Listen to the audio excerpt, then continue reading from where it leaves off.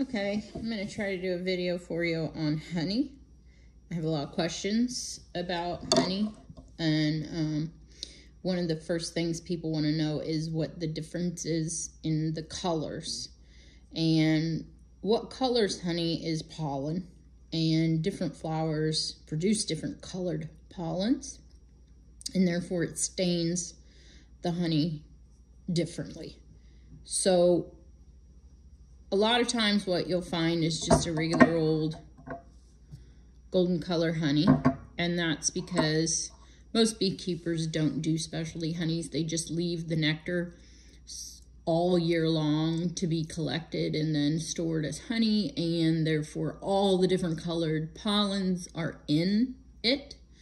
And later in the year, the more pollen there gets to be, then the darker the honey is. So fall honey can be very dark because it's been sitting in the hive all year and who knows how long it took them to cap that. And so there may be a lot of travel over top of those combs and those bees have pollen all over them they're bringing pollen in. So um, if pollen falls on those combs uh, for many many months you're going to get a lot of pollen in that honey. And then um, if you have a, a keeper that does a specialty where they will put a super on specifically for a particular nectar source that is in bloom. And then you can, after that flower uh, stops blooming, then you will pull the super off and you would collect honey that's predominantly one single floral source and therefore it could be a specific color. So usually in the spring, if you pull honey in the spring, you've got only a few floral sources and not very much time in the hives to collect a whole lot of pollen and therefore it's lighter in color. As your summer goes, it gets a little darker and then towards the fall you can collect and you get darker um, honey. So it all depends on how much pollen is in it and what the floral source was that the pollen came from. You can have a spring honey that's very dark if it's a specialty honey that comes from a flower that produces a very dark pollen. So um, I hope that I covered all those points and that you can uh, understand what I'm trying to say. Uh, the other question is why are some of them liquid and some of them solid? So like this summer honey is liquid. Mm, this is a summer honey also that's a solid. So what produces the solid is a crystallization. And how it crystallizes is another um, factor. So some honey, uh, I will show you, okay, the, this one. Some honey you'll find in a store and you will see at the top here that it's liquid. And then at the bottom, it's kind of solid. So the two portions here, the liquid would be the fructose, and the bottom here that's solid would be the glucose. So glucose fructose ratio is what creates different crystallization. So your glucose crystallizes and it's on the bottom and the fructose does not so it remains a liquid. So your really high fructose, non-heated honeys will remain liquid for extremely long amounts of time if even it's not heated. So what crystallizes it then is the glucose in the honey.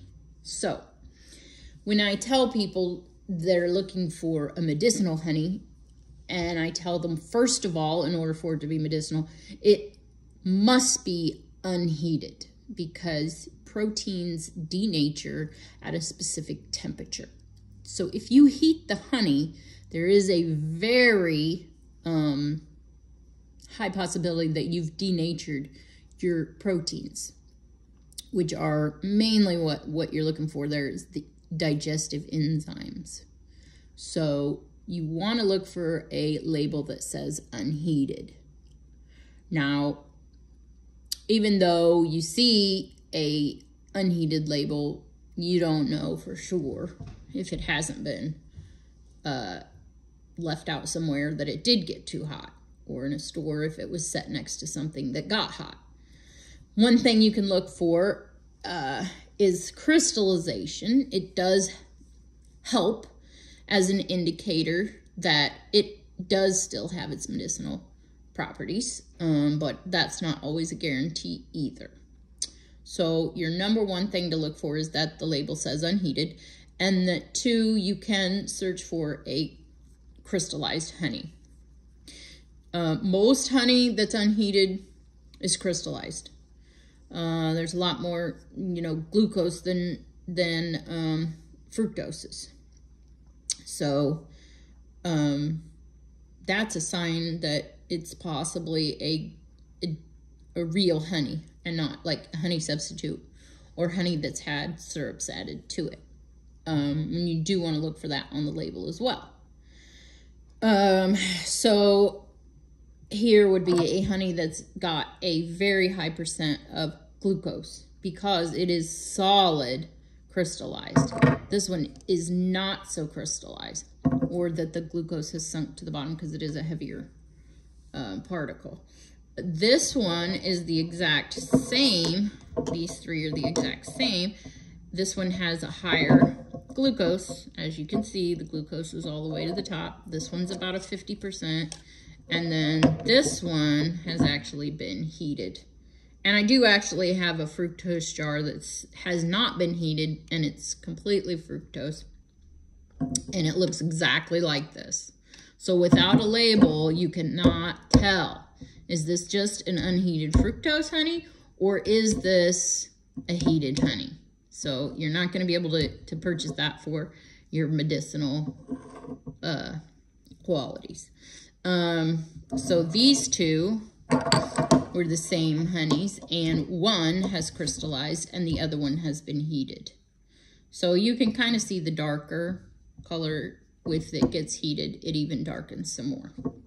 So the, the heating just turns it into a liquid again, which makes it easy to pour.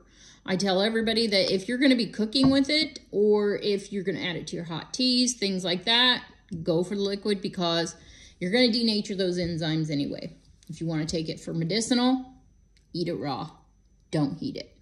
Take a teaspoon of it for your digestive enzymes and then eat your food or drink tea with some other honey in it. Um, okay, I think I covered color and then what we have with liquids, solids. I choose more of a solid honey than a liquid honey. And it's uh, now a natural state like this, if it's fresh off the hive, it would have glucose and fructose in it and it would look like this because it's fresh. So none of the glucose has been able to crystallize out of it. So it's fresh. So always look for fresh if you can get it, but that's usually only during the summer months. Okay, not many beekeepers are getting in the hive and pulling their honey during the winter. So think ahead, get prepared, and get your honey um, during the time when beekeepers are working their bees and have fresh honey. But if you stock up, just know it is going to crystallize. I prefer crystallized honey that is more solid. Why? Because of fructose.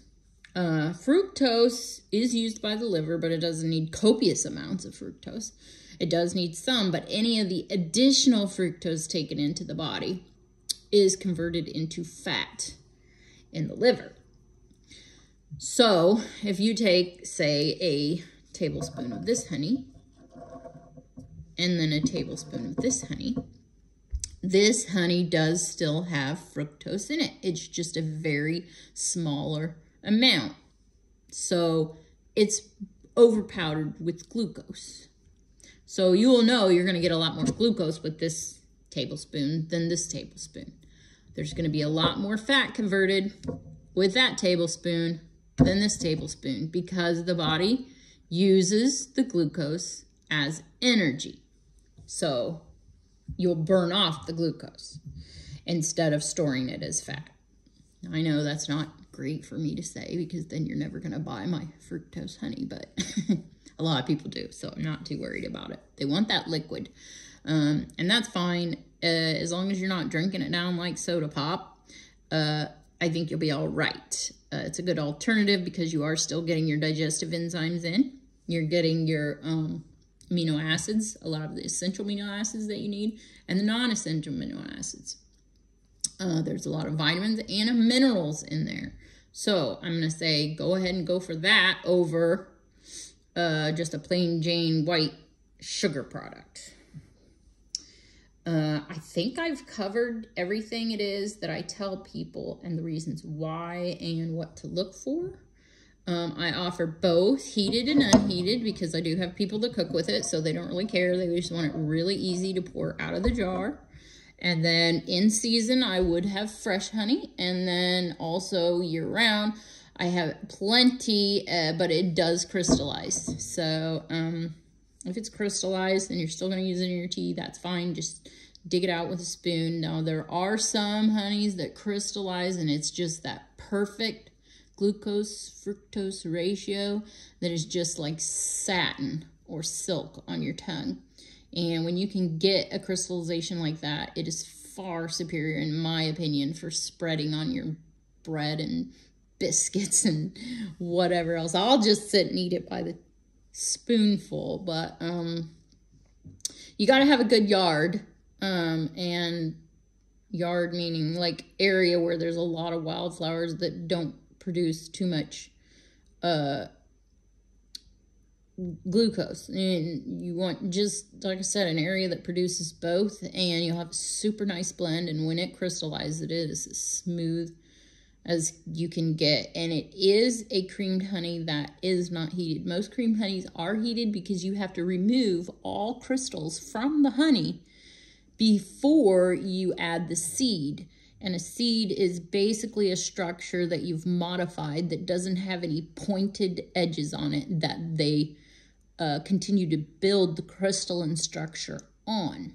So since you've added that seed for them to build on, it won't form those sharp crystals, which actually aren't real palatable on your tongue. So that's just a little tidbit about creamed honey. Uh, cream honey is most of the time heated, so unless you see one that says unheated, then it's one of those perfect ratios, in my opinion, um, that just tastes silky smooth. And to me, it's worth its weight in gold. Um, I don't sell mine. I keep it for me. no, I did end up having some that I did sell. We'll see if, uh, since I have a new location now, I don't know if I'll be able to produce that creamed honey uh, without heating in the future again. We'll see. Uh, but that's going to take another year to find out what this new area that I'm at will produce. Hopefully it's going to be a lot of honey. And the bees did spectacular this winter. It's 2023. And we had very mild, mild uh, weather. And they're laying already. It's uh, February the 16th, 15th. So the girls are doing good. And um, hopefully this is going to be a really good year. I hope you enjoyed this video. I hope you learned a lot.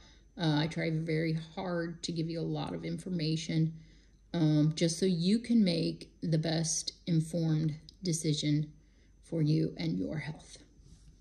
See you next time.